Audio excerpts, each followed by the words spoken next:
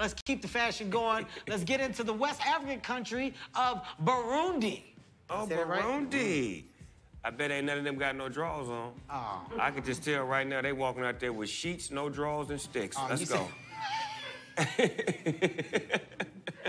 That's what I dare. I dare anybody to go up and, and lift up one of them Just things right, next time. love lifted me just, right just, now. Just run by one of them and just go, what's under here? Just to see. Just see what'll happen. I I think everybody will be shocked. See how the USA team looks.